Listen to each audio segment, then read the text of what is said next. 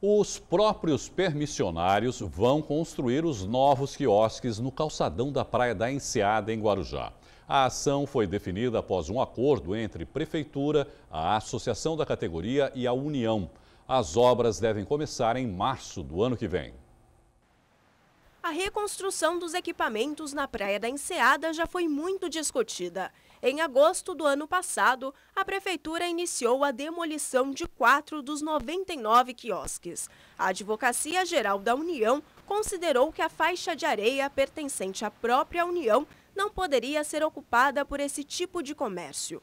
Um ano depois, um novo capítulo. Os próprios permissionários poderão construir os novos quiosques, mas no calçadão, e a concessão será por um período de cinco anos. Depois deste prazo, quem quiser permanecer com o quiosque vai passar por licitação. O acordo foi feito após uma reunião entre a Prefeitura e os permissionários. Foi um grande ganho, mas foi fruto de muito entendimento entre as entidades que representam os permissionários ou os quiosqueiros, e o Ministério Público Federal, a Advocacia Geral da União e a Prefeitura Municipal do Guarujá. À medida que os novos equipamentos forem construídos, a Prefeitura começará a demolição das estruturas que existem hoje na praia. Para a associação, o acordo foi positivo. É algo muito positivo, porque imagine você, nós a cada temporada ah, os quiosques vão sair logo depois. Os quiosques vão sair. Então, se você tem uma segurança, que você vai ficar lá por mais cinco anos, que você vai poder exercer sua atividade econômica, isso é muito salutar e muito positivo. Nós estamos muito felizes e a Associação da Orla, junto com seus associados, comemoraram essa vitória.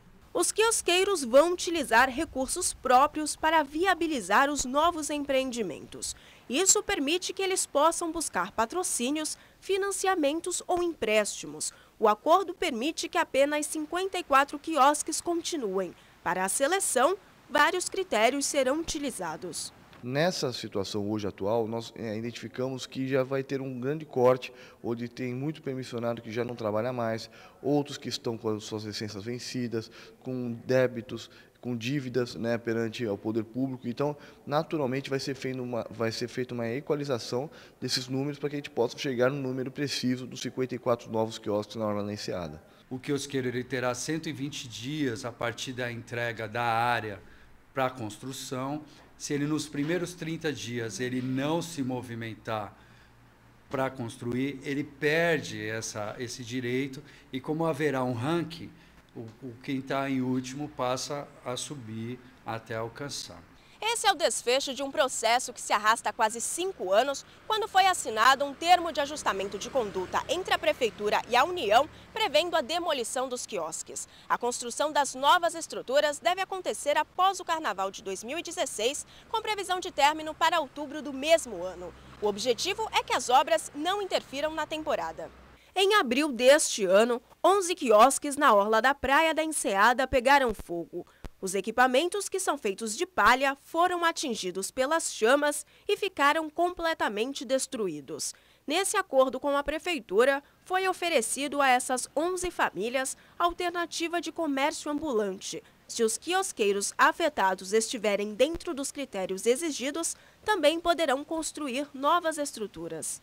Os novos quiosques serão padronizados e divididos em dois modelos, duplo e individual, cada um com 18 metros quadrados de área interna e 60 metros quadrados de área externa, todos com direito a mesas e cadeiras.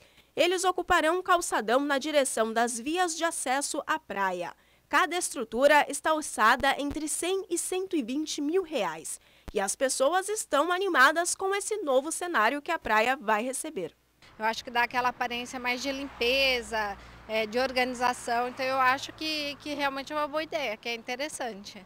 Tirar os quiosques da areia, que ecologicamente não é uma recomendado jogar para o calçadão, é muito mais conveniente. Dependendo do tipo de projeto arquitetônico, pode harmonizar com o ambiente, ficar muito bonito e provavelmente chamar mais atenção dos turistas.